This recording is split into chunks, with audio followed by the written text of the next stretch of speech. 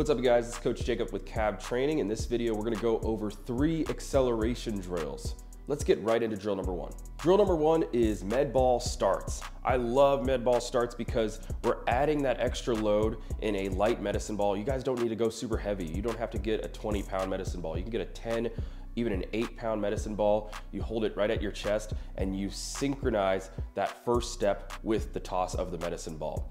You could start by just doing one step, or you could finish with a 10 yard sprint off the end of the medicine ball throw. You guys can do two or three of these to kind of get you warmed up and explosive to start an acceleration workout. Before I get into drill number two and three, I wanted to tell you guys about my online training platform. For the last five years, I've been going full time training youth, high school, and college athletes to improve their speed, agility, and skills. And I've reached a lot of amazing athletes, and I wanna help more and more people. And that is possible with the online training platform. If you guys want access to all my knowledge, all my speed exercises, all my agility workouts, check out the link below in the description to check out my online training platform. Let's get into drill number two and three. Drill number two is what I like to call a triple jump. It's a standing triple jump for those of you guys who are in track and field and do the running triple jump. All we're doing is we're starting out with our feet squared and we jump off of two feet, land with our right foot, jump from our right foot to our left foot, jump from our left foot back to two feet.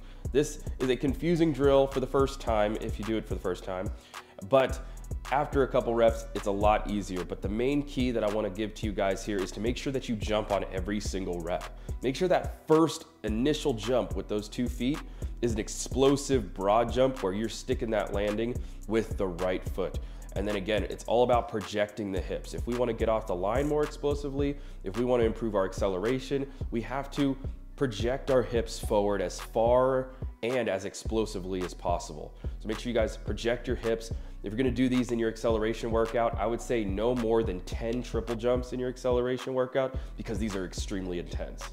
Drill number three is kneeling starts. The key behind kneeling starts is making sure our angles are correct. If you want to have a great acceleration, you have to have great angles. So when we get on that one knee, we wanna make sure our front leg's shin is at a good 45 degree angle. We can't have a vertical shin angle because we're not gonna be powerful, that, and that'll mean our force is gonna go upward rather than outward.